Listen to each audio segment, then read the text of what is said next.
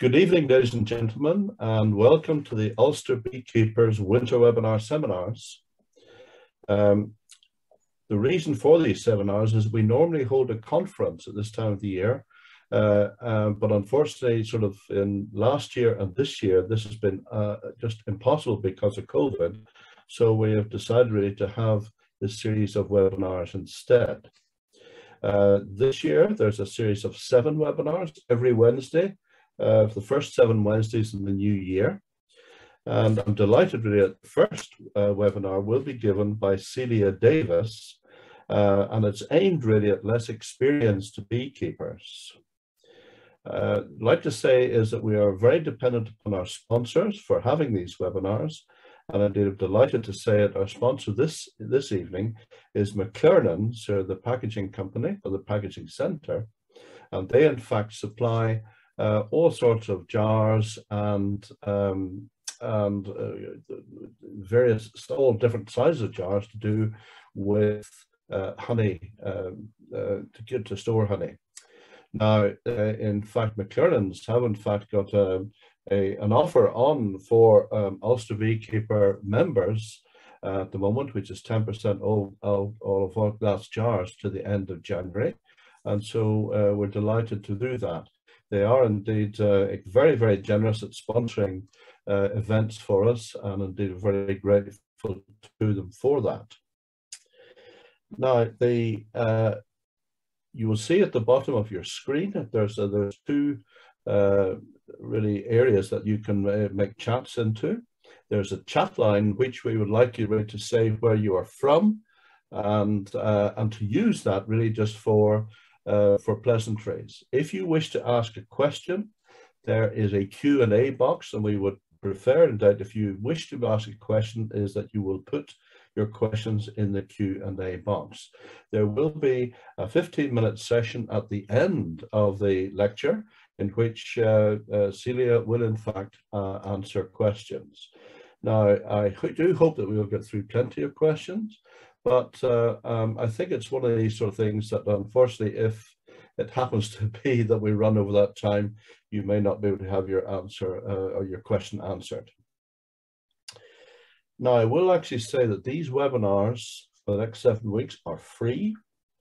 Uh, and indeed, we are in fact uh, very dependent on, on sponsorship that they do take place. However, if you do feel that you would like to make a contribution towards the webinars, then please feel free to do so.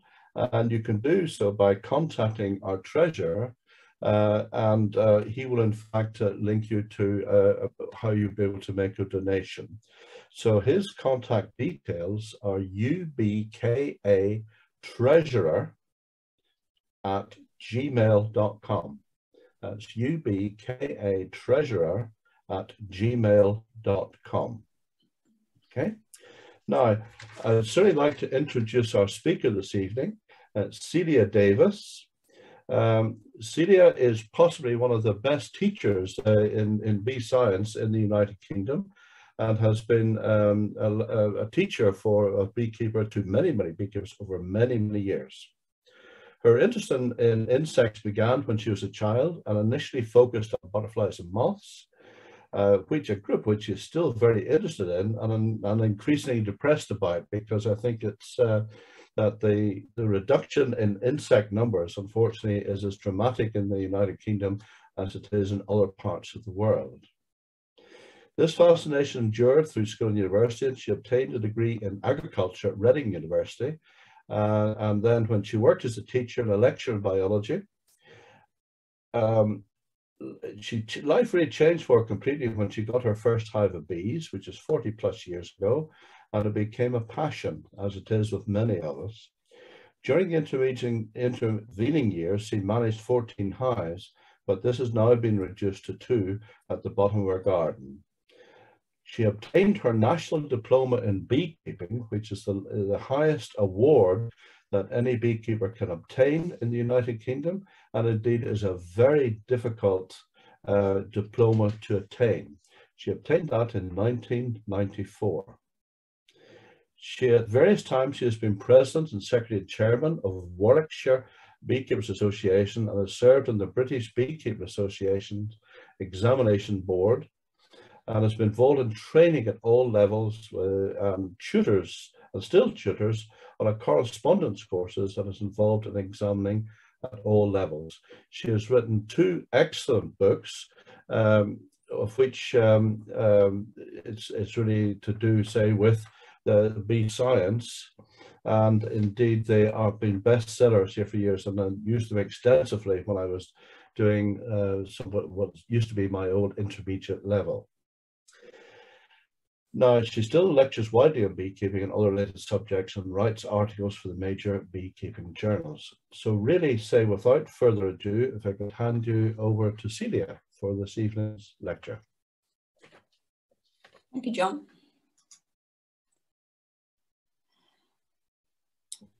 Ah. Yeah, I've got the same problem I had a few minutes ago. I shall have to go out and come back again, I think. Won't be a minute.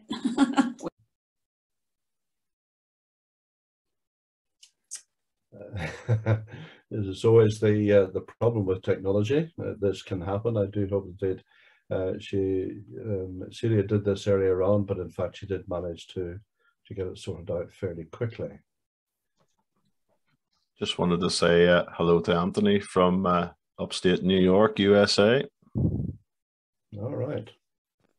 Uh, I can't. Um, and Harold from Pennsylvania. And Robert from Trondheim and oh, Norway. I think I, I think I've seen somebody from uh, uh, where was I saw.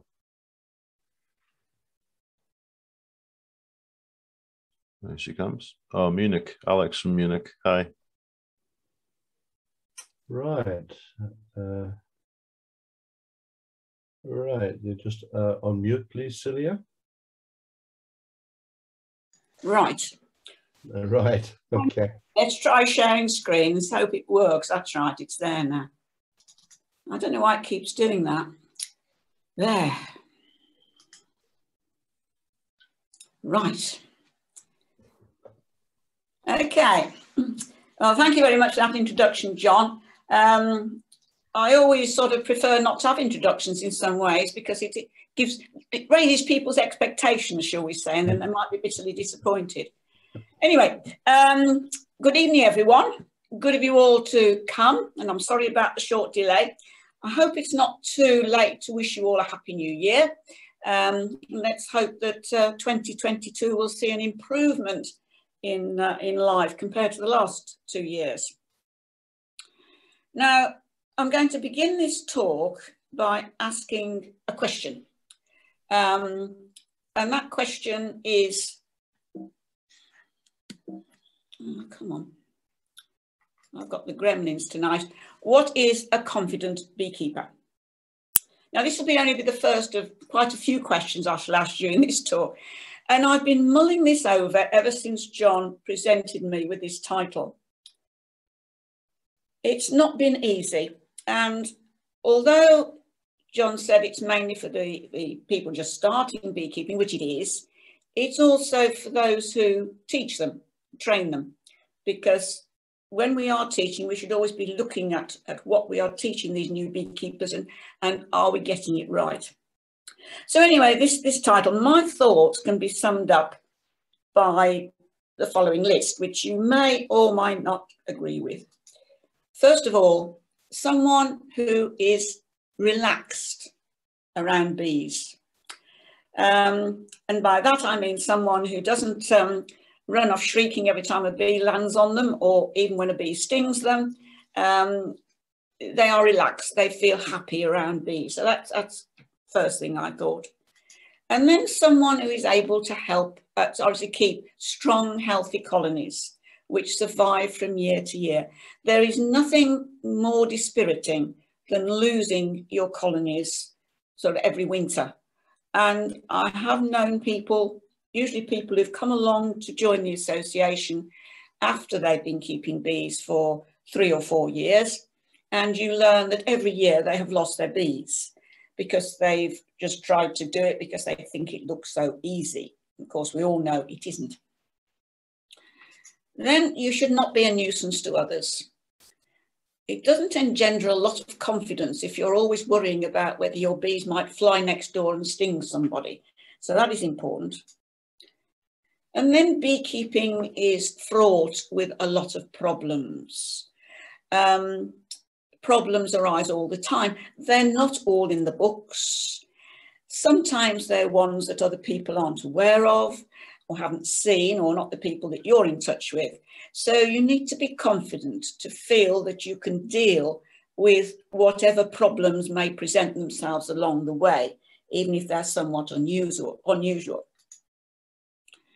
And then finally, and, and I feel quite sort of passionate about this, you need to be able to take responsibility for the well-being of the bees as animals. Now, um, I have this sort of feeling that it's a pity the RSPCA don't get involved with bees. Uh, so many people have bees, put them in a box, and that's it. And they don't think they need much doing to them. Um, well, in some ways they don't, but in other ways they do.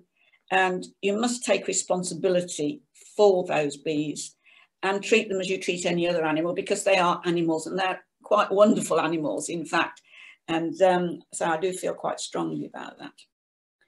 So there are a number of goals, and say you may not agree with them all, or you may think of others, but how does the unsuspecting novice go about reaching these goals? And I would like to put a little aside in here. Um, I don't know what it's like in Ulster, but certainly over here, we have a number of celebrities who have jumped onto the beekeeping bandwagon. Now, some of these people are people like TV gardeners, for example, and they show a hive being put in their gardens. Usually it's a long, deep hive or that kind of thing. Um, somebody comes along and dumps a swarm in it, and then you never hear any more about it. And you just assume that that's it, they're beekeepers. And this gives people the wrong idea. So let's look at the start of beekeeping. And I say this applies to trainers as well.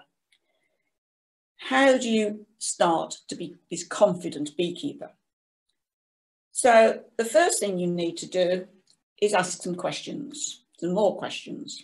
Why do you want to keep bees? Well, my husband's been asking this for the last 40 plus years, and I sometimes ask myself as well. Um, but there are various answers, of course. The first one is do you have an interest in insects and their lives? And this is where I originally came from. And this is essential. Whatever else you want to get out of your beekeeping, you need that interest. And once that interest has gone, if it goes ever, then you might as well give up because that is absolutely essential. And then a lot of people just want to make some honey. They quite fancy some honey um, on the breakfast table and they want to give some to friends and neighbours. But how much do you want to make? Um, a couple of hives, certainly enough to supply your immediate needs and those of your, um, say, friends and neighbours. I mean, it's interesting. We had um, a member, who's he's still a member, in fact, some years ago. He's, he lives in the middle of Birmingham and he got two hives in his front garden. And very early on in his beekeeping, he had 250 pounds of honey from these two hives he had um, two jars which he sent down to the National Honey Show and they won first prize in the light honey class. Now, those of you who've been to the National Honey Show uh, will know that that is a very big class. Of course, the secret is that Birmingham has got lots and lots of lime trees planted along the streets. There, there's very much a street tree.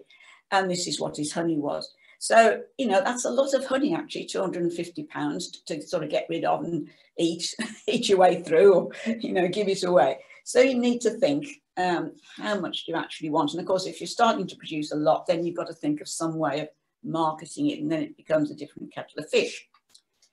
Now, do you want to make money? Well, I've put think again. Um, certainly, if you want to make a lot of money, I would always advise to go and do something else. But um, it is possible to make money. It's possible to make a living from beekeeping, although it's there's not all that many people do it in this country. There's a lot in America, of course, who make their living from it. you need quite a lot of hives um, and you need to work very, very hard. So, you know, I, I would not advise anyone to go into beekeeping at the beginning anyway, with the idea of making a lot of money from it. And then the final one, which increasingly I hear, is I want to help the bees or I want to help the environment. And these are both laudable aims, of course, and, and there's been so much publicity, unfortunately, about um, honeybees and their so-called plight, um, that people seem to think that they are on the verge of extinction, which of course is far from the truth. Bees, in fact, um, manage perfectly well. We've got enough beekeepers. In fact, in some places in this country, certainly there are too many beekeepers. And um, honeybees aren't likely to, to, to cease to exist anytime soon. And then the environment, of course, they think, oh, it's hive of bees, that will improve the environment. Well, what I say to those people is that they would be much better off planting lots of flowers for bees and for other insects because it's not our honeybees that are in trouble, it's the wild bees and other pollinators that we need to think about. Um, and uh, I try to head those sort off uh, if that is their, their main reason. In fact, I spend a lot of my time trying to dissuade people from being beekeeping, believe it or not. Now, most people start off with, with two hives, which is the ideal. One is not a good idea because if something happens to it, that's it, gone. Whereas if you've got two, you can get a second one going from the first one. Um, and then they, of course, they make progress after that. So uh, one thing I would say, it is important not to rush into it, but to learn a little bit first. And this is even more important. Um, I started beekeeping years before Varroa arrived, and it wasn't all that difficult then. It was much easier. But I think it is important now to learn quite a bit before you start. So where do you get proper training? Well, the first place must always be beekeeping associations. Now, this is a small number of our association. Um, obviously not beekeeping. we were actually building a new apiary. Um, but joining the association, you make friends, you have lots of like-minded people you can talk to. And um, of course, one of the things that associations do is run courses. And I'm sure most of you have been to beekeeping courses or you run courses yourselves.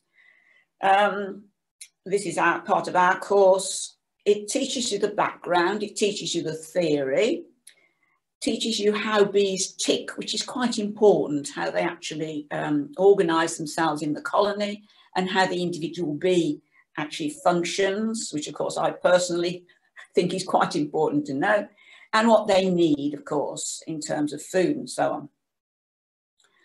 I would say that one day or a weekend are not adequate. It needs to be longer. Um, people go on a day's training course for beekeeping and think they know a lot about bees. They don't.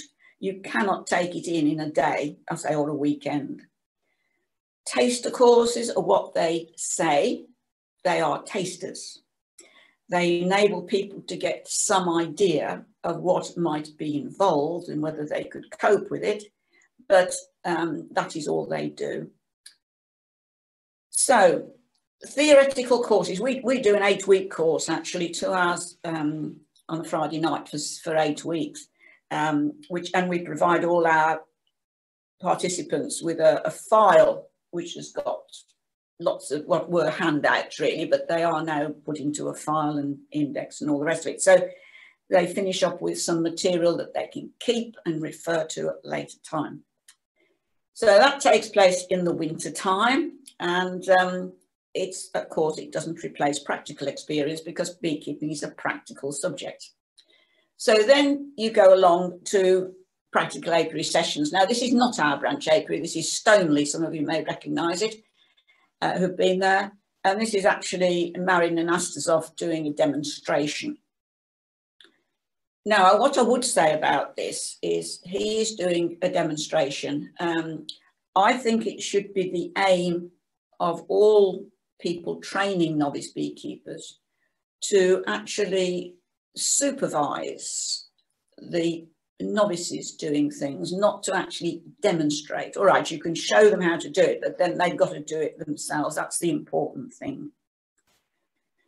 So associations, um, most associations have uh, their apiary. Um, it may be small, it may be big.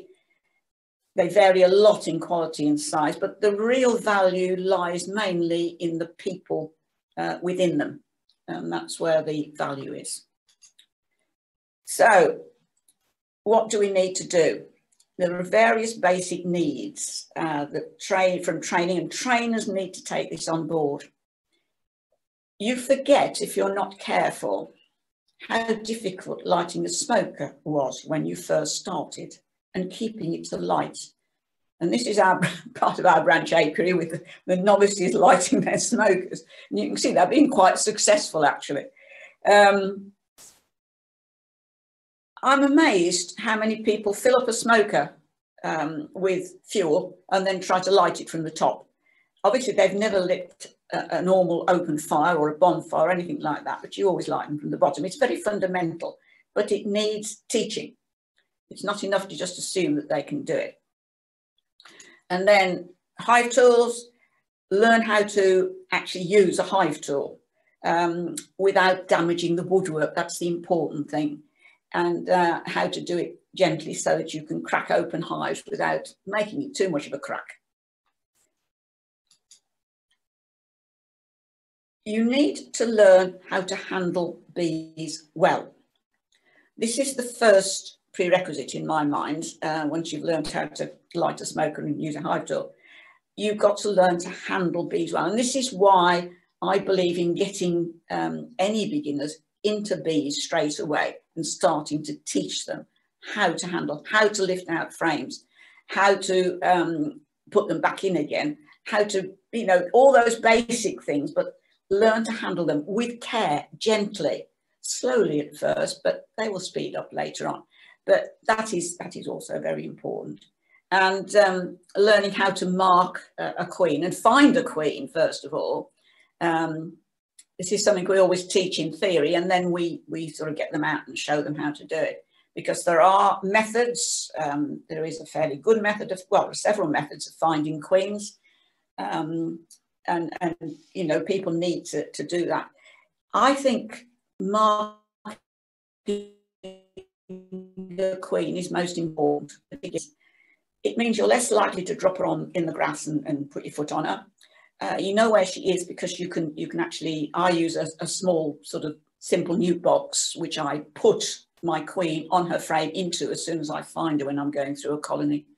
Um, and then put her back in at the end, of course, in the same place that she came out of. But um, that is most important, I think, and particularly for beginners, it gives them a lot more confidence if they can actually see their queen. And you can mark her using a cage. You don't have to handle her. Um, many people are, you know, quite rightly scared of handling a queen. She's fairly fragile in some ways. Um, so you can use a push-in cage. Be very careful, of course, not to stick the spike through her. And you can mark her through that so she's marked, but you haven't got a handler. And then you need to understand how bees function, both at the, um, at the individual level, uh, as this is, and at a colony level. Um, the colony level is probably more important, but you need to um, ensure that people have got some idea how they function, um, that they, you know, how they feed and this, this kind of thing. Food is vital and they must understand what uh, the bees need from the environment. This is very important when it comes to siting hives, which we'll talk about briefly in a minute, but um, they must be aware of what bees need from their environment. So they need pollen, and pollen is vitally important. Um, a range of pollens. People don't always realise just how important pollen is to the colony. It's what drives the expansion of the colony. It's what enables it to um, be healthy. It helps the immune system. It is extremely important and it needs to be mixed. You need lots of different sorts of pollen. And of course, they need nectar um, and they need nectar all through the year, not just uh, in sort of short bursts. They need as continuous a supply as you can make through the, the active part of the year. Obviously, excuse me, not in the winter, but during all the spring and summer. Then they need water. This one was conveniently drinking from a dish, but they use all sorts of water sources, but they do need water. And this is their need for water is part of the not being a nuisance to others. Um, you really need to supply some sort of water source for them near the apiary so that they don't fly off into next door's swimming pool um, or around their bird bath. Uh, mine used to love our bird bath, but um, they, they, and they don't do any harm. We know they don't do any harm, but the neighbours don't. And then they need propolis. And that is something, you know, you can't really worry about too much, but they will find that, but they do need propolis. So that's what our bees need. Then they also ought to understand the brood. Um, these are obviously larvae, sort of mostly fairly young larvae, one older on here, another one there. But they need to understand the um, way that a, a bee develops and how long the various stages take. And as soon as you start to get this sort of information into people, the better. Um, and the and the one thing that I like to stress is the um, queen queen's life and the eight the importance of eight days. Um, eight is a very very key number when it comes to queens. So those are the kind of things that I like to get into my beginners at an early stage in their learning. So to summarize then, they need to learn how to light a smoker and use a hive tool. They need to learn how to handle bees well, how to find and mark a queen, and they need to understand something about how the colony and the individual bee function. So those, I think, are the main requirements at the beginning of um, someone's beekeeping career. How do you get it? Well, there are sources of information in books, online resources and other beekeepers. Now, there are a number of excellent books and I have actually got a list here, but I'm not going to put it up on the, on the computer. You can ask about them afterwards if you want to. Um, but I would say don't be seduced necessarily by lots of pretty pictures. There are some very good, excuse me, I'm getting a frog in my throat. there are some very good and very attractive books with lots of photographs in. In fact, I've just bought one for my son-in-law's birthday, which is tomorrow. Um, a second one by Jürgen Tautz and a photographer, and that is excellent. But there are others which are written by photojournalists who happen to have a girlfriend who's become a beekeeper for a year or something of that sort. And some of those, the pictures are nice, but the text is rubbish. So do be very, very careful and choose books by experienced, knowledgeable, and um, British or Irish authors. Um, not, I, I shouldn't, I should say this carefully. I mean, there are some excellent American books, but I, I, if you're learning basic beekeeping, I think you want to learn basic beekeeping for your area, not for another part of the world. Online resources, um, again, extreme care. I've known lots of people who've uh, started beekeeping. They're very keen on computers, so they set up a website and they start putting all sorts of information on, um, and they know nothing. So do be very careful with online resources. There are some excellent ones. Um, some of the various ministry ones around the place. And in fact, one of the best ones is the one which your next speaker writes, which is scientificbeekeeping.com. Now, I know it's American, but there is so much on that website and it's very, very sound. So I do recommend that one, but there are others, but do be very careful and be careful what you get off YouTube. Although again, there are some useful things, but when you first start, you don't know what's useful and what isn't useful. So just be cautious. And finally, there's other, other beekeepers, people, your local association, lectures such as things like this, possibly, um, various events, and, and again, online um, lectures. Do be careful when choosing people at a local level. The ones with the most to say and the loudest voices are not always the ones worth listening to.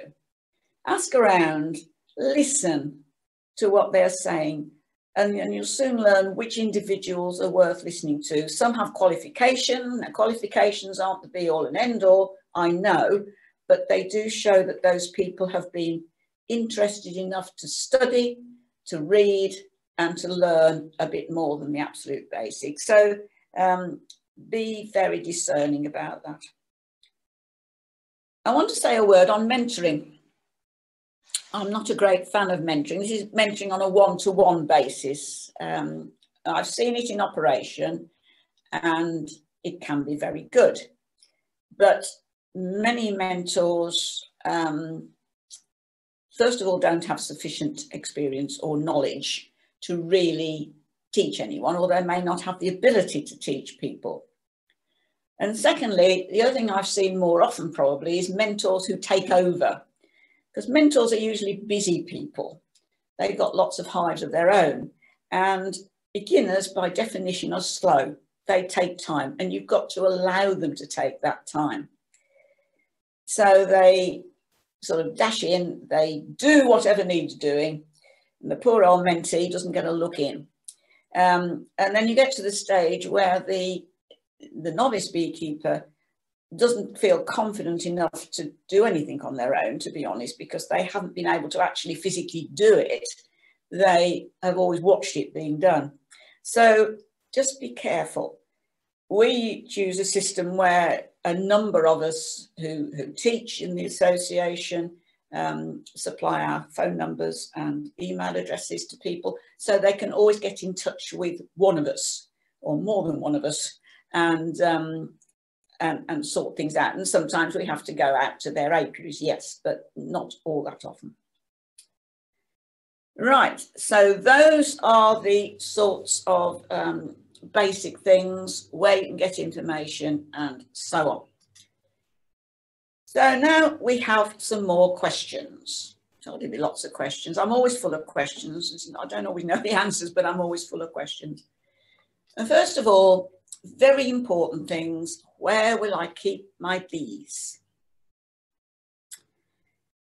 Now, this is a very important question, of course, and, and most people who start beekeeping just have a vision of two hives at the bottom of the garden. Now, that's what I've got now, because since I've got old and we've also moved house, um, we have a much smaller garden, I've now just got my two Collins bees, which is lovely.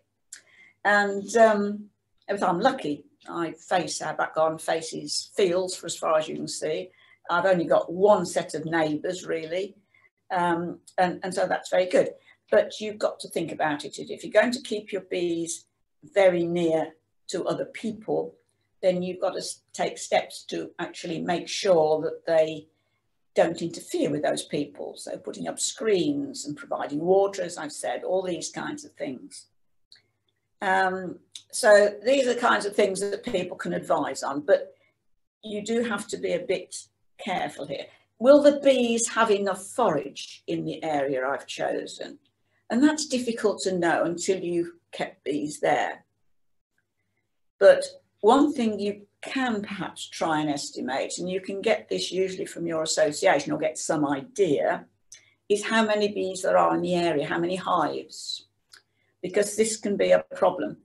Um, we're seeing it over here in London, um, where yields have gone down. There's an awful lot of EFB and other diseases, and there are far too many bees in the middle of London.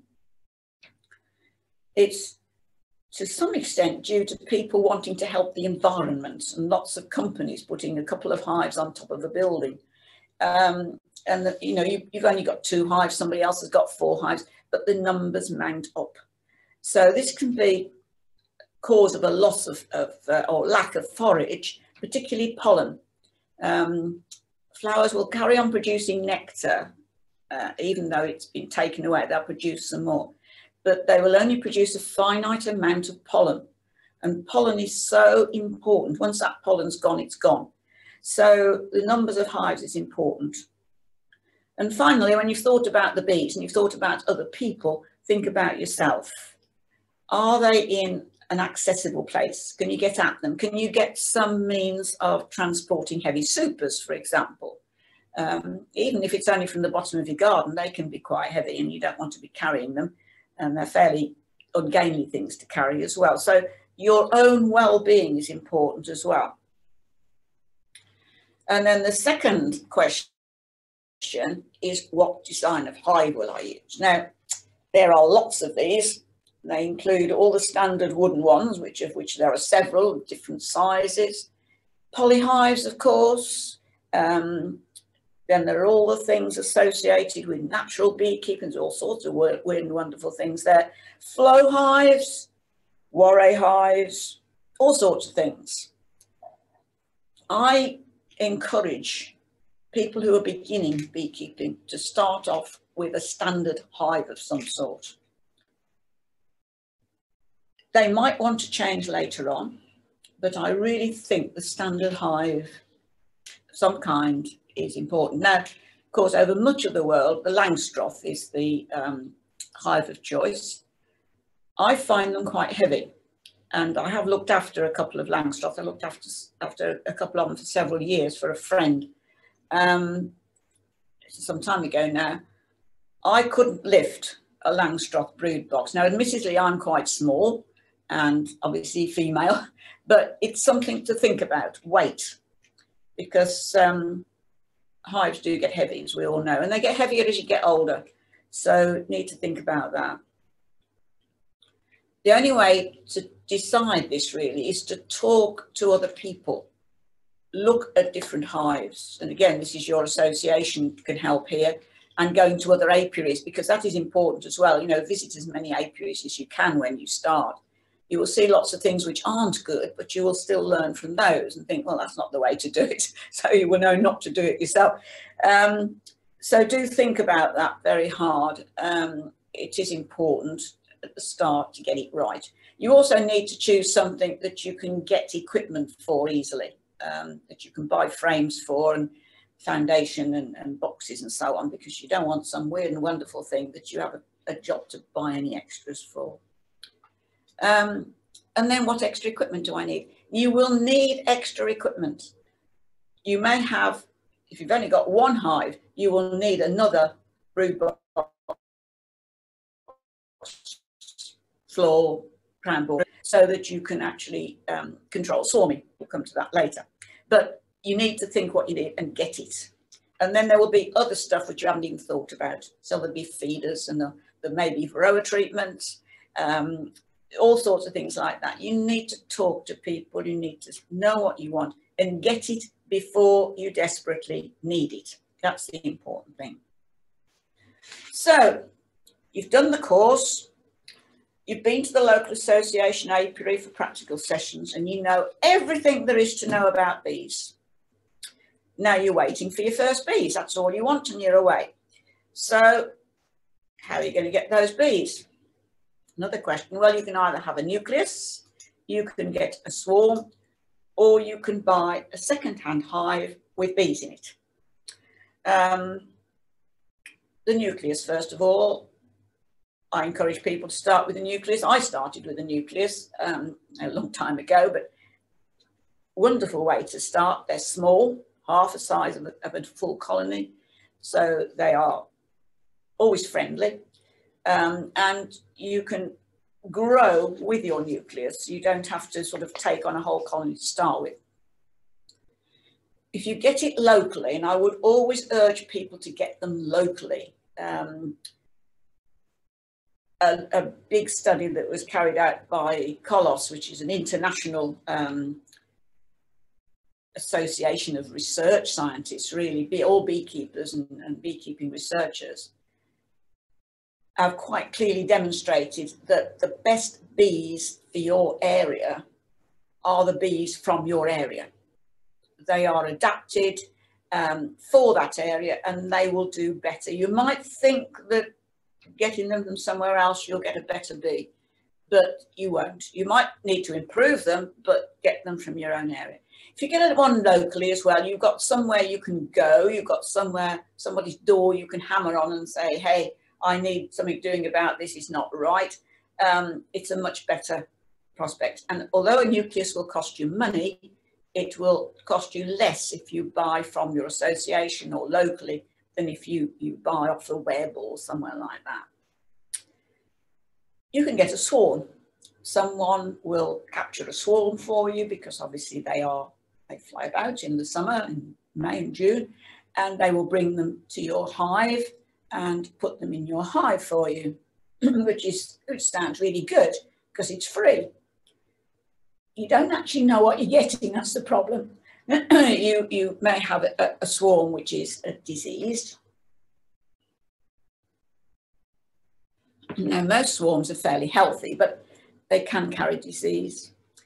You may have a very defensive um, strain of bee in that swarm, which makes it very difficult to handle. Your nucleus will be bred by someone who ensures, hopefully ensures that it is, it is quiet and, and good tempered and with a marked queen incidentally.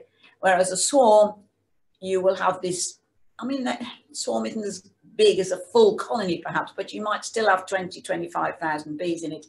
And they can be, as I say, um, very defensive and uh, you, it's very unlikely you'll have a marked queen in it, although sometimes you do. So that's the swarm.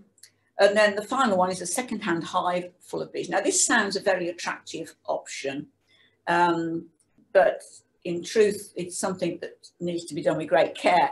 Um, again, you can import um, a lot of disease in this way. Uh, you need to think why people are getting rid of the, that hive. I mean, it may just be that they, they are having to um, reduce their numbers of, of, bees for various reasons, and it may be perfectly genuine. Um, it may be that they're lousy beekeepers and they can't cope with them. They feel they've got to get rid of them. All sorts of different reasons. If you are tempted down this route, then always take an experienced beekeeper with you to look at them and never buy anything that you can't inspect. And it applies to all of these. I mean, the swarm isn't going to be a problem anyway, but it applies to the nucleus and the second-hand hive, particularly the second-hand hive. Never buy bees in the autumn or late summer. Always buy them in the spring. I have known quite a few people who've bought um, second-hand hives with bees so they can start beekeeping. They take delivery in August or sometime like that. The weather's nice, you know, they're all fine put them down and by the spring they're dead. They probably overrun with varroa, they may have other diseases, all sorts of problems. It's very, very dispiriting for people to do that.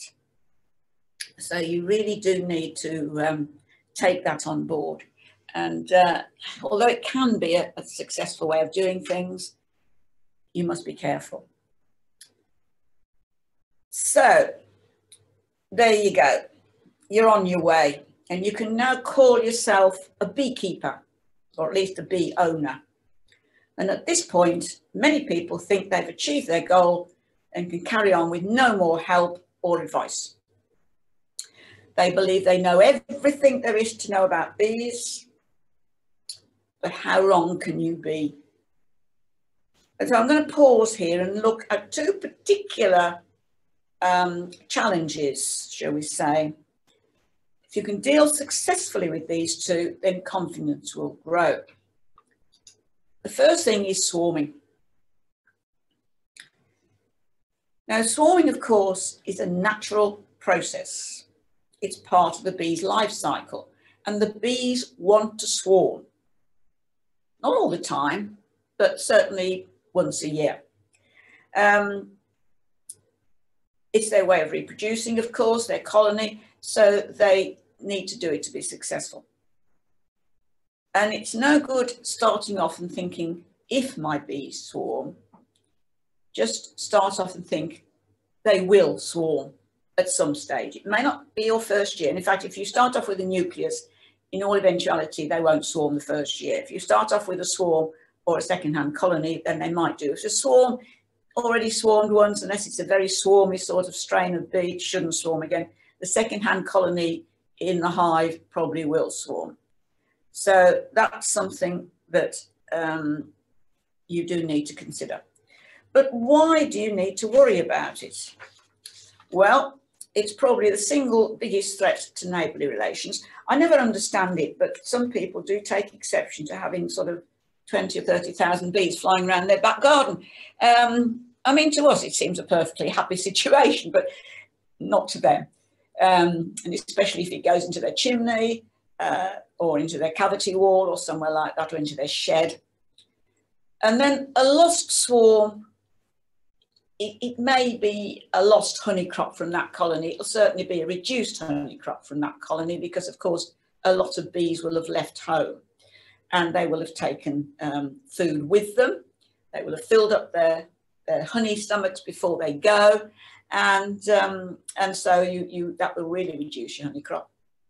And then finally, if you manage to see it, catching and hiving it can be difficult because they sometimes take to collecting at the tops of trees, um, sometimes quite tall, dangerous trees, which uh, they're probably just better left to their own devices in that uh, situation. And it's always time consuming. And they always seem to swarm around lunchtime. Um, very inconvenient. But I've always found actually that um, when you go out to collect swarms, I mean, not your swarms necessarily, somebody else's swarms, you go out to collect them, they always take off and go five minutes before you get there. Um, and this brought home to me very strongly one, one year. I was called out to a swarm and it was a lady, she was actually nine months pregnant. And this swarm was just outside her back door. And she'd been fascinated by it, but the midwife said she must get somebody to remove it. So I went out to remove it, and she's some short distance away. And um, I said, How long's it been there? She said, Oh, been here a week. And I said, Oh, well, it's not going to go anywhere. Uh, I said, So I, it was lunchtime. I'll just eat my lunch and then I'll be out. So I did that, went there. When I got there, she said, It's gone. I said, When did it go? She said, Oh, about 10 minutes ago. So, you know, this is amazing what bees do. They're not supposed to do that. So there you go. Um, so before you go very far, you must decide on a plan. Now, of course, you can preempt swarming to some extent by providing extra space, uh, making sure your bees are always provided with extra space ahead of when they need it. You can split them. You can actually um, split your colonies so that they um, don't really uh, have the chance to swarm. They're going to make themselves a new queen. They'll probably think they have swarmed. Um, but sooner or later, you will open a colony and find occupied queen cells. So make a plan beforehand. Know what you're going to do when you see those occupied. I've put if there, but I should have put when really, when you see occupied queen cells. And buy the equipment you need for it. There are different ways of controlling swarms. They all basically come to the same thing. You separate one element of the colony from the others. So you separate the queen out, or you can separate the, the young bees out, it, it, whatever. But um, you need some equipment to do it. So buy the equipment you need. And when you actually do this, if necessary, write yourself an idiot list. And that's what I call an idiot list. I'm a great believer in idiot lists.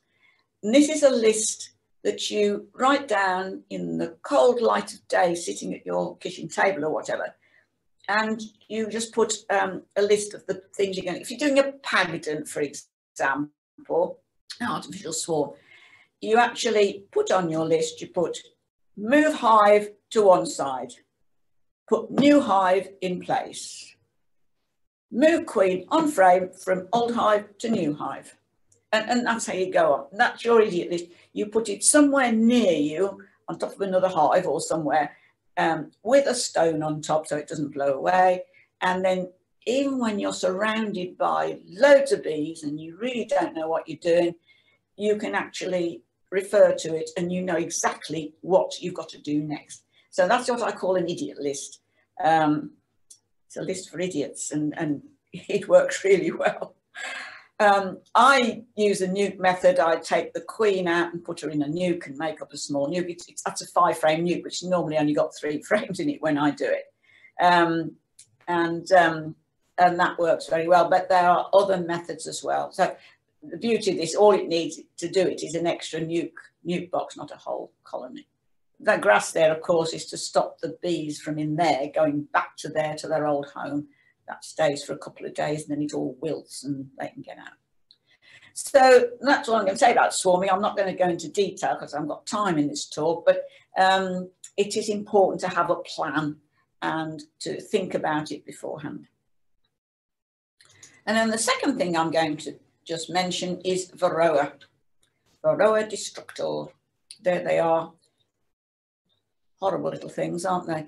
Um, but it is very important. And of course, it's important that people take on board um, what they need to do about Varroa really right from the outset, because if they don't, they will lose their bees um, almost inevitably. So you must keep Varroa to a minimum in your hives. You want to keep it down below a thousand mites per hive. Gets above that, then you're in trouble. And of course, it's the viruses that it spreads that will get going and they will eventually kill your bees. They might take a couple of three years over it, but they will kill the bees. Now, there are a number of ways of dealing with Varroa. Oh, there you go, I'll put a pupa in just to show you. They feed on the fat body, which is the food stores, basically. That's a, a mother mite, and that's one of her daughters. Um, you know, they pierce the uh, the cuticle of the pupa and suck out the um, fat body which obviously doesn't do it a lot of good. So how can we control it? Well, you can use husbandry methods. And those exploit two facts. The first is that mites only go into cells to breed just before those cells are capped. So if you provide them um, with a frame of cells at that stage, and those are the only ones in the hive, then they'll have to go in there. And you effectively trap them because once they're capped over, they're trapped. So the, the, there's a way of using that, but I'm not going to go into it in detail because it's, it's too long for now. So that's one thing. And then the other thing is that they, uh, between breeding cycles, they are on the adult bees. They're called phoretic mites when they're in that state and they feed on those adult bees. But at that stage, they are far more vulnerable. Um, and at that stage, you can use various things to, to get rid of them. So there's husbandry methods. Then there's chemical treatments, which is what most people tend to use. Now, these are very varied. Um, there are a large number now on the market, and uh, some are kinder than others. Some have quite sort of well, not serious effects on bees, but they can certainly affect bees. I mean, it's very interesting that, you know, you, if you're using chemical, you're trying to kill a mite, which is quite similar to an insect, um, on another insect, which, all right, it's a bit bigger, but, you know, it, it is still quite difficult to do. So some of those chemicals are kinder to the bees than others. Many of them are absorbed into wax. So they go on persisting in the colony after the treatment's been taken out. I think we must stress on beginners that they must use registered products and follow the instructions carefully. Um, it is quite important. And of course, the, the different treatments have different methods of, of application. The only um, instructions I tend not to follow is the ones on MAQS, the Mite Away Quick Strip. Um, and I tend to, if I, I don't use them very often, pardon me, but if I do use them, I tend to use only one rather than the two that it says. It's, it's quite a sort of powerful, pungent stuff. Um, it will actually uh, penetrate um, brood capping, so it's quite useful from that point of view. But um, it was developed in the, for the American market where they tend to work on a double Langstroth brood box. Now, I use nationals, single brood box nationals, as do many people in uh, certainly in this country. Um, and they are really, I think, too strong for that particular type of hive. It can win, uh, can work, but it doesn't always, and, and it can lead to loss of queens. Now, you can use what's called integrated pest management, which is a combination of the two. It's mainly husbandry methods, really, but with the backup of a chemical treatment if you need it. Um, and to do to know whether you need it, you have to monitor, course. And all these things must be grasped right at the outset. And then the final method is to cross your fingers and hope for the best. Um, and this really doesn't work. There are areas around the UK, um, and I'm sure in, in Ireland as well, where Varroa tolerant mites are found and, and people haven't used chemicals for some time, several years in some cases and this is great. And, and some of the work that's going on, I mean, Steve Martin has been um, working on this now for some time and has discovered a way that some bees are able to combat varroa and uh, therefore remain healthy. But you've got to be prepared to monitor carefully if you're going to go down this route. Don't just assume that it will happen if you stop treating and you have to be prepared to apply some sort of control if the numbers start to climb. So that's sort of, um, I think people have got to grasp Varroa control and, uh, and the importance of Varroa right from the outset. Now I'm just going to look to finish up, I'm going to look at one more aspect of beekeeping, which isn't entirely aimed at um, complete novices, and that is queen rearing, rear your own queens. Now I've put this in because it gives the opportunity to really feel as if you are in charge. This, this does engender confidence. And secondly, it gives you a much better understanding of bees. Um, it also gives you the chance to improve your bees, of course. Now, I'm not going to go into queen rearing methods. You, you can get terribly, terribly hung up on which method to use and how to do it. Let me just say that there are basic principles. These are queen cells, artificially reared queen cells. This is a Jenter kit, which, which I use because the old eyes aren't as good as they used to be. Um, and it's much easier to get the larvae of the right age. But the essentials are you must use worker larvae because of course worker larvae can be converted to queens queen larvae, but they must be 12 hours old or less. They must be tiny. Um, general rule of thumb is if you can see them, they're too big, uh, which is why I use a Jenter kit. Um, so you finish up, you know, it's probably better to use one of these um, head torches and, and, magnifiers. That's a good way of doing it. But they must be uh, 12 hours old or less. Now, the problem with different methods is actually obtaining those larvae. Once you've obtained those, it, it's, it's all fairly straightforward. Um, then you must have a, a queenless colony. A, a, queenless colony, which hasn't got any queen cells of its own, will adopt and rear them as queens. So you have to um, render a colony queenless, or at least let it think it's queenless, and then they will adopt and rear them. But it must be very well fed, and have lots of young bees in it, nurse bees, which will look after those larvae and feed them. Um, and again, pollen is particularly important because it is pollen which provides all the protein uh, and other things as well, but all the protein which will enable those larvae to grow. And without lots and lots of pollen, they will never grow as well as they should, and your queens won't be quite as good as they should. So um, that is very important. So those are basics. And then before the cells actually emerge, before the queens emerge, you must put each sealed cell into its own nucleus box or into um, a, a, a, box anyway, some sort of box. Some people use mini nucs, little tiny things. Some people use ordinary nucs, which is what I use. Um, you can put them into brood boxes, but um, they're better in many ways in a smallish colony, not a great huge one. Um, and then, then, they will mate from those nucs and uh, you will have a lot of, of, really good queens, hopefully, or a few anyway. We don't need a lot. Um, but carrying out this procedure will lead to lots of reading, greater insights into the life of the hive, um, and of course, because it's such a it's a rigid timetable, you have to really get yourself organised. And I think it, it, it is a really, really good process, even if you're not a terribly successful queen rearer. And I remember when I first started, I didn't rear very many out of each batch. Um, but I would recommend any beekeeper who's got a year or two of experience to try it um, and, and they will improve their beekeeping.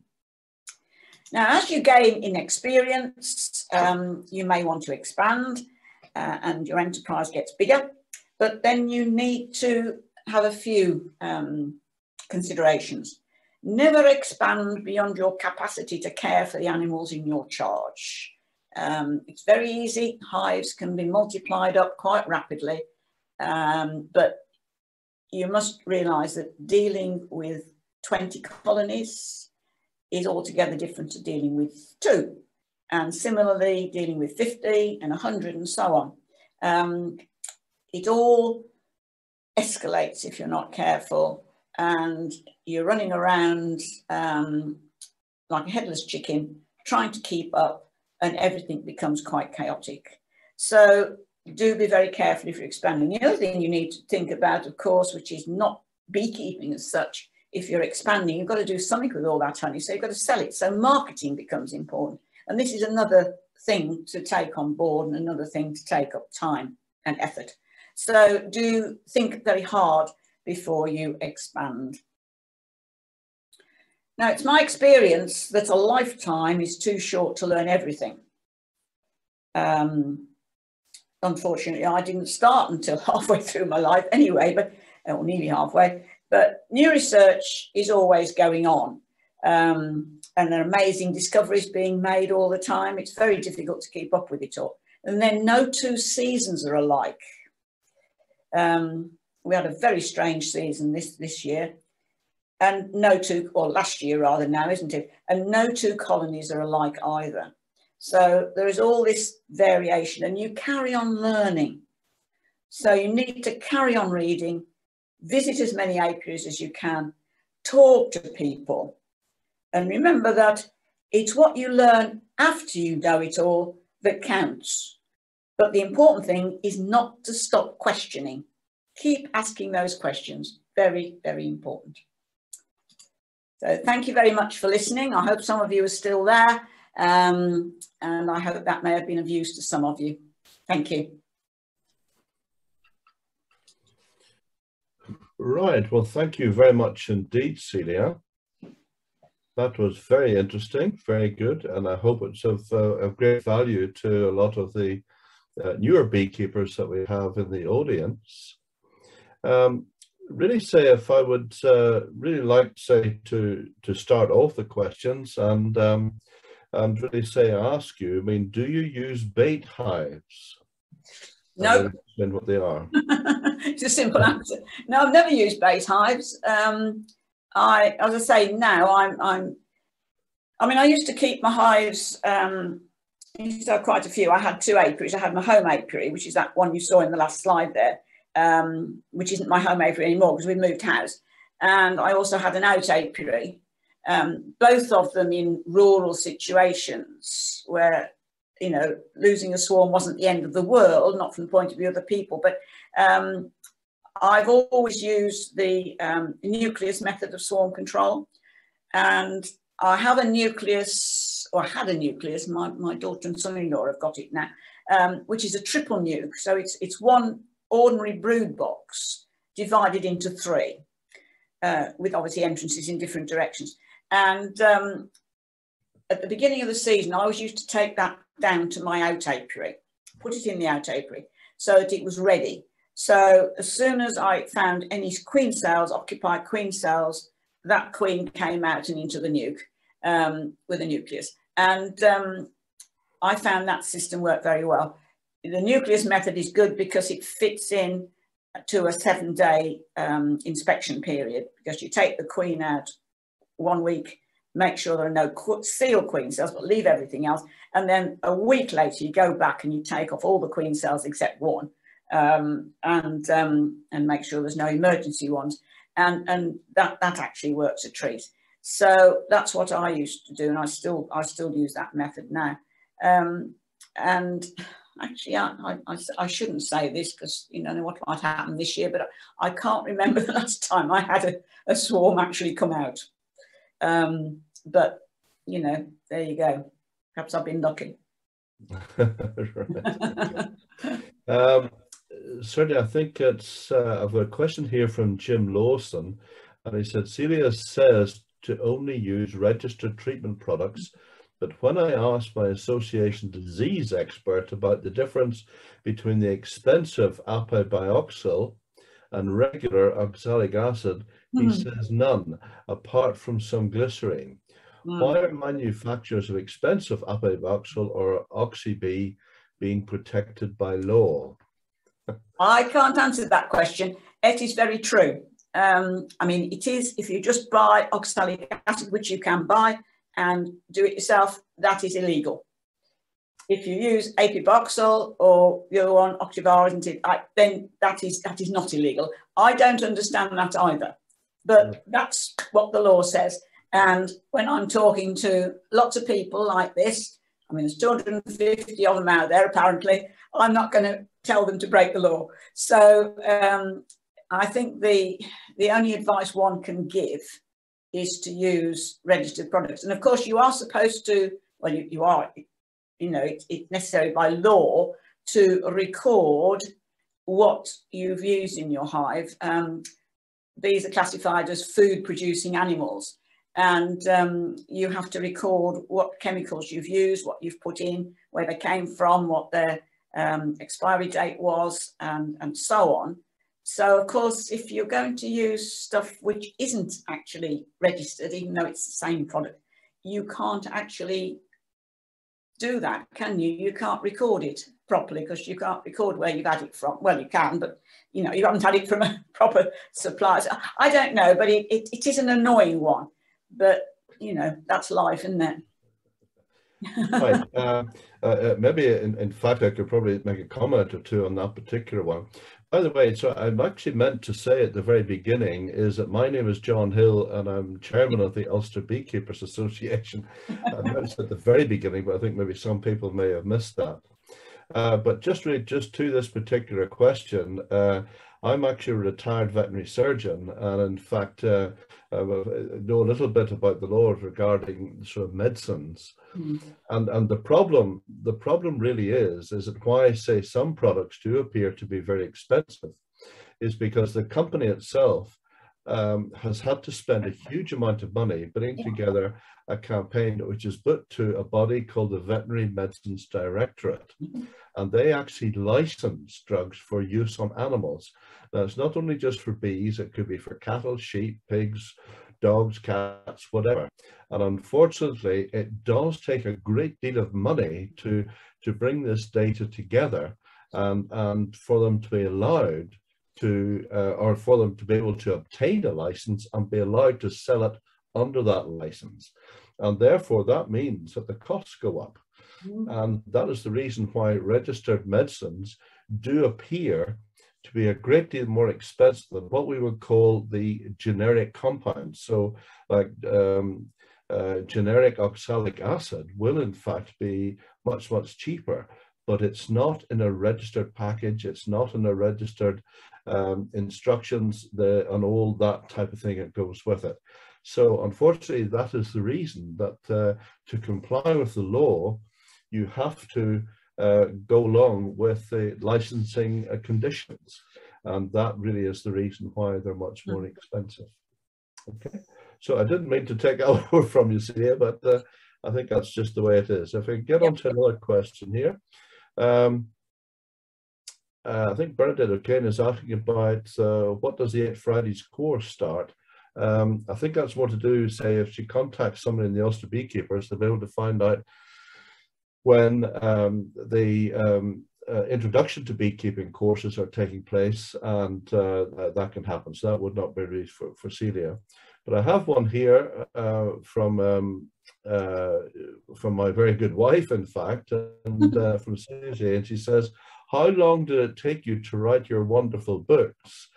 and have you a book in in in uh, in the uh, in, in, in, you know uh, on coming on writing. I think I should mention that the two books are the Honeybee uh, Inside Out and the Honeybee uh, Round and About, of which I understand you're on the third edition. Mm -hmm.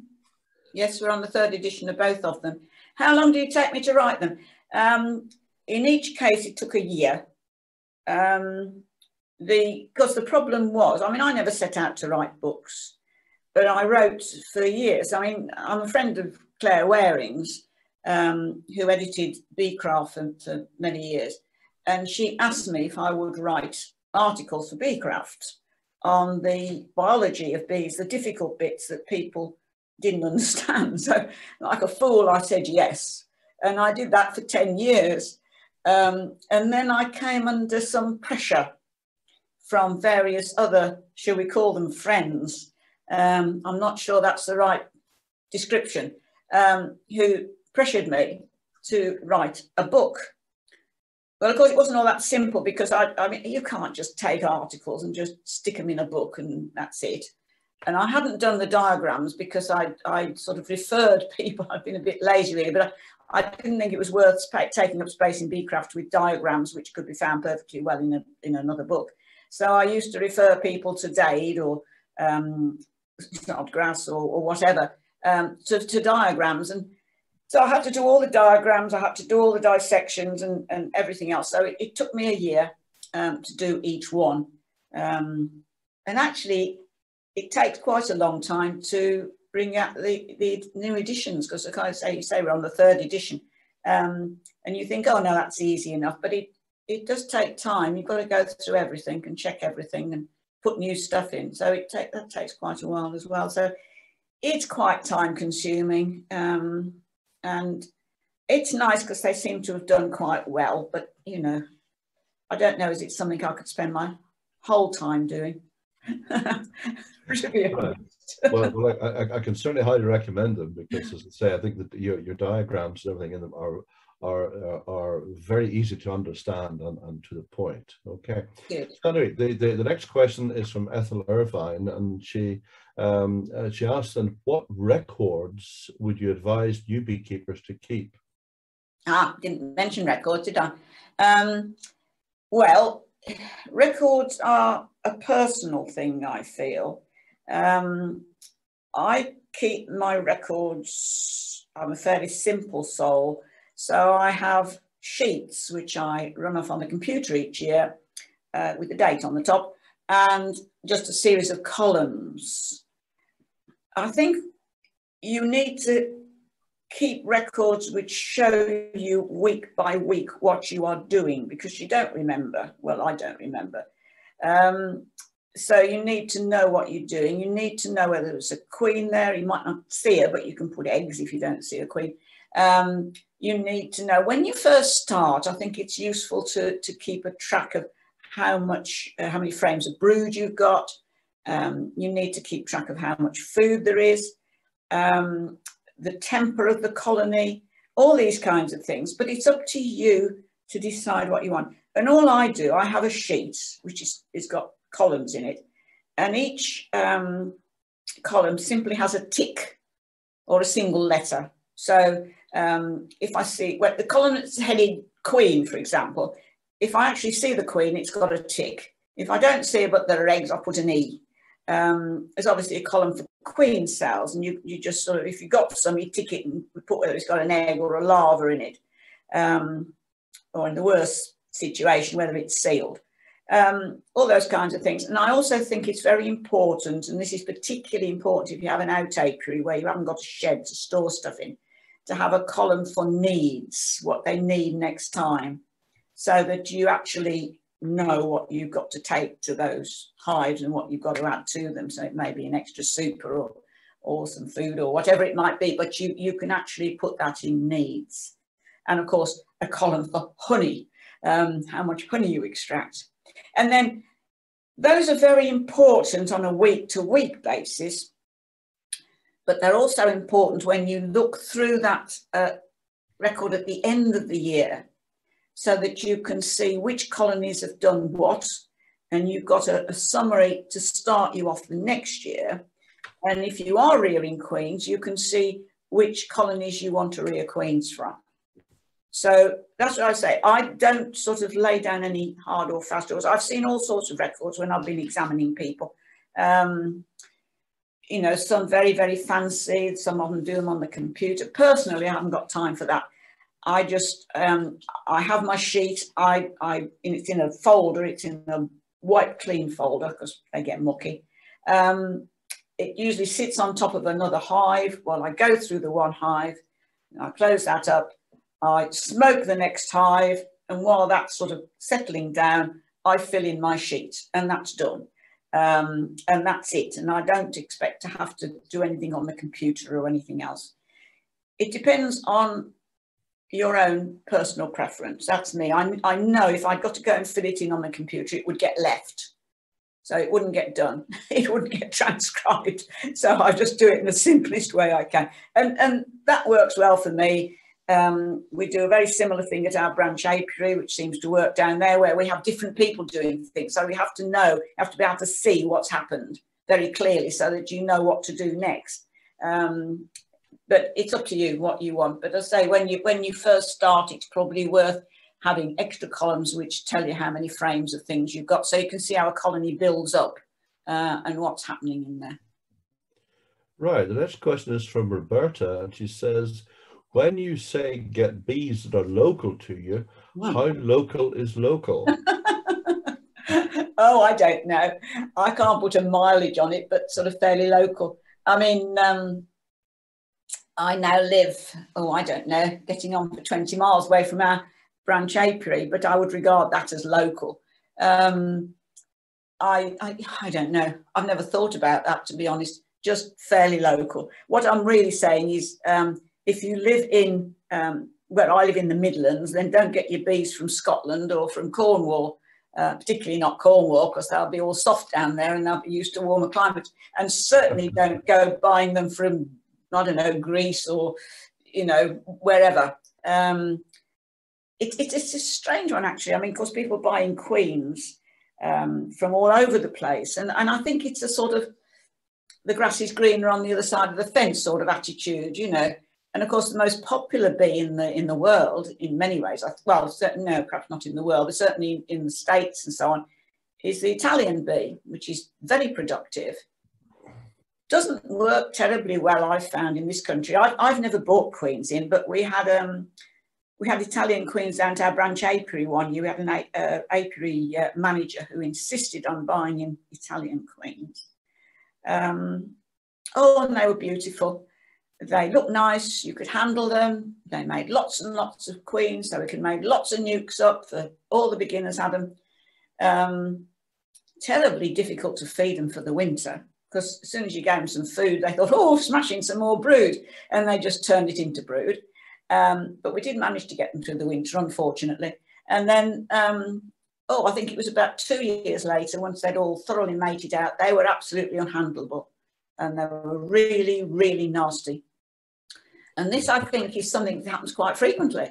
And I hear it from people who sidle up to you after lectures and say, I don't know whether you can help me. I had these lovely bees. They were whatever they were, carniolans or it doesn't matter what they are. And now they're really nasty and I can't do anything with them. You know, what, what, what's happened to them? And I think it's just simple hybrid vigor um, you know, a, a, defensive bee is a successful bee in, in the eyes of a bee in the bee world in a wild situation, but of course not in an apiary. So I, apart from the, the risk as well of importing diseases and pests and small hive beetle, which we haven't got yet, we hope, um, you know, I just don't see the point. Improve what you've got and buy fairly locally. Um, and, and that would be my advice. But I can't put a mileage on it, you know, you've just got to be common sense. Yeah. yeah. the, the, the next question is from Kieran. And he said, how much water should I leave out per hive? Can I leave in a bucket or do I need to change the water regularly? Well, you don't need a lot. Um, they, you don't want a bucket. you just want a, a, a bowl or a, some sort of shallow container. Make sure that you've got um, things in it so that the bees can sit on something and won't drown. Um, because they, they, are quite good at doing the breaststroke actually. I've, I've seen them in the pool, but it's not a good idea. I don't think it does them a lot of good. So you just want a very shallow container somewhere, uh, fairly near to the apiary, not sort of right against them, but fairly close. And um, some people put, um, I've seen all sorts of setups, people put um, dishes full of um, sort of peat or something like that, or we don't use peat anymore, but whatever you can use, um, moss or whatever, and have, have something dripping into it, or just keep it really soaked, because they don't need a lot of water, they just need sufficient that they can suck up um, from some sort of material. So, um, no, certainly not a bucket. And yes, you can change the water. You, yeah. Sorry? You'll get too many would drown, I think, of that. You need yeah. to say, use a, a, a, flat dish with plenty of pebbles. Yeah, flat, just a flat dish and, and is, is fine, actually. I mean, that one I'd got the picture of was drink. It wasn't one of mine or anything. It was actually on holiday in Norfolk. And there was a hive there in the grounds of the place. And um, this chap used to put, he wasn't a beekeeper, his chap has owned it. He just used to put this dish out um, during the day with water in, just because he liked the bee, seeing the bees drinking from it, and, and they used to come and drink from it, and it, it was um, it was lovely for them actually, but it was just a shallow container of any sort. Yeah. yeah. Uh, right, um, uh, see, I think I'll make this the last question, and it's from Ian, and uh, he said, not particularly related to the talk, but in what configuration do you overwinter your hives? Varroa tray in or out, entrance block in or out, crown board feed holes open or blanked? I, that's only that's about five questions. I was going to say, I'll start from the bottom. Um, ventilated floor. Um, draw normally the, the you know the Varroa tray normally out, although as I put it in for monitoring. Um, at, at fairly frequent intervals. Um, then I've taken to, I, I, I, used to keep my bees on a brood and a half, but I just keep them on a single brood now. But I do leave them with a super on each winter. Now I've taken to, it doesn't seem right actually to me still because bees normally store their food above their brood. But I've taken to putting the half um, brood, the shallow super, under the brood box. So you've got ventilated floor, you've got a shallow super, then you've got a um, brood box. The um, crown board uh, has, I, I put gauze over the um, feed holes, but then I insulate above that. I always put insulation for the winter on top of the crown board. I think if you've got a ventilated floor at the bottom, you need that insulation on top. Um, I actually use um, I've got some underfelt, well, it's not felt, it's this corrugated sort of stuff that, that they use for under carpets nowadays. And I have three layers of that on top of each hive and then the roof on top of that. Um, that's how I overwinter them. I'm seriously considering whether to try insulating around the outside of the hive itself next year. Well, the two hives. Um, I don't know whether I'll do that or not. It, it all depends. I've got to think about that, but I'm seriously considering doing that. Um, if you've got, I mean, mine are in a fairly windy situation. We've faced due south and we're very open so that we get quite a lot of winds. But I, I have put up a windbreak and I've planted a hedge as well, which is now growing quite quickly.